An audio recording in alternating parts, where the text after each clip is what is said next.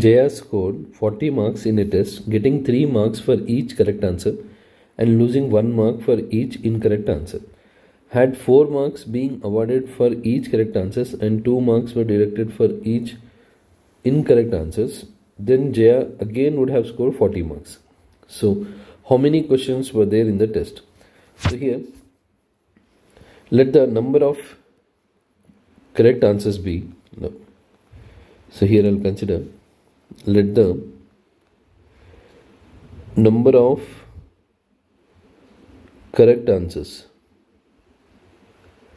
So number of correct answers be x and number of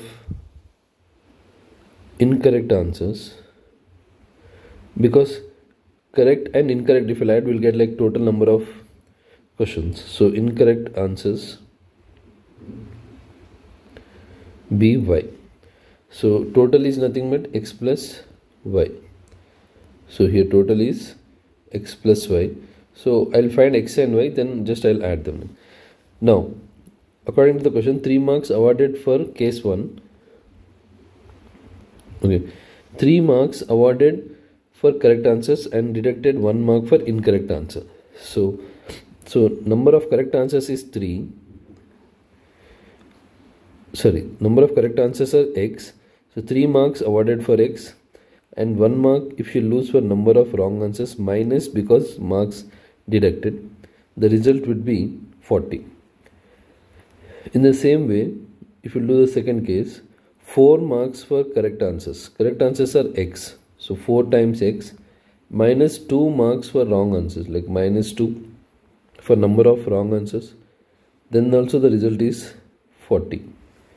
Now for example, see why I am doing minus. See number of correct answers like 10 you think like correct answers and incorrect answers are like 5.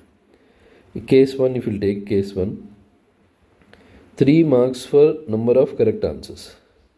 Incorrect answers are 5, 5 questions here wrong answers. So minus 1 into 5. So 30 minus 5 the result will be like 25 so in this way so the wrong answer incorrect answers we need to subtract because the marks deducted. So now if I simplify these two equations the two equations are 3x minus y is 40 4x minus 2y is 40 I'll eliminate first equation I'll multiply with 2 second one with 1 so I'll get 6x I'm making the coefficients of y equal. 6x minus 2y equals 80 second one as it is 4x minus 2y equals 40 so if I'll subtract minus this minus will become plus and here minus.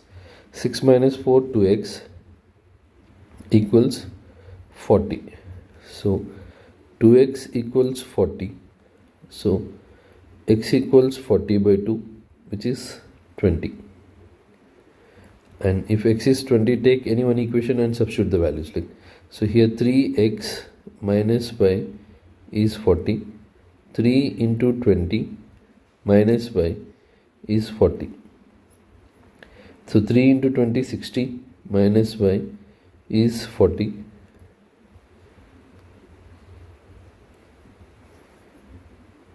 so 60 minus 40 equals y so y is 20 so 20 correct answers and 20 wrong answers. So total number of questions were like 40 20 plus 20 which is 40 now if you want we can check the verification. But total number of questions problem is done here that is 40 now first case 3 marks for correct answers minus 1 mark for wrong answer so number of correct answers are like 20.